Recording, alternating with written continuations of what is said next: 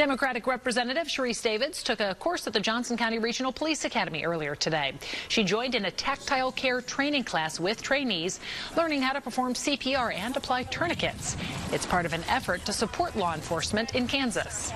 Even just the little bit I got to see so far, you can tell that um, it takes a lot of training to make sure that they're able to safely perform their, their duties and uh, protect themselves, protect the public. The Police Academy trains new hires from 18 different police agencies across Johnson County.